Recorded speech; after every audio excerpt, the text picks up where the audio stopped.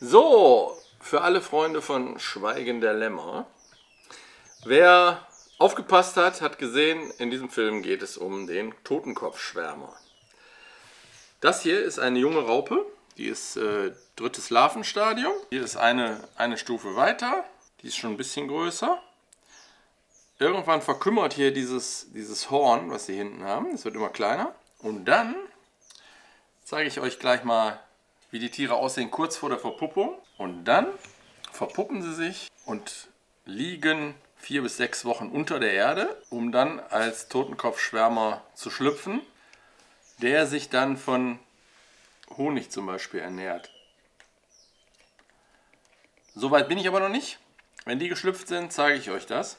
Die Raupe vom Totenkopfschwärmer ernährt sich ausschließlich von giftigen Pflanzen, wie zum Beispiel Liguster oder Kirschlorbeer. Ich habe Gott sei Dank eine Ligusterhecke hier draußen und äh, fütter ausschließlich Liguster. Ähm, ja, wie gesagt, wenn dann äh, die Falter irgendwann schlüpfen, ist das jetzt mal ein Falter, der sich auch ernährt, weil die, äh, wenn ihr euch erinnert, die Rizinis zum Beispiel haben verkümmerte Mundwerkzeuge und können gar keine Nahrung mehr aufnehmen, leben dann praktisch nur noch für die Paarung und Eiablage. Beim Totenkopfschirmer ist das anders. Der geht zum Beispiel beim Imker in die Bienenstöcke rein und saugt die Bienenwaben leer, die Honigwaben. Äh, deswegen sind die nicht so beliebt bei Imkern.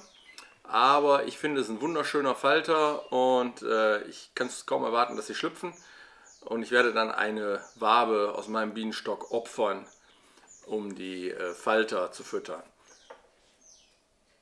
Ich habe jetzt die ersten Puppen. Das heißt, äh, in ein paar Wochen, wenn die geschlüpft sind, werden wir ein Video machen, wie die äh, Falter sich an einer Bienenwabe praktisch äh, stärken und Nahrung aufnehmen. Und dann geht es wieder zur Eiablage, dann kommen wieder Raupen und dann kann ich euch mal den kompletten vom Ei zum Falter den Durchgang zeigen.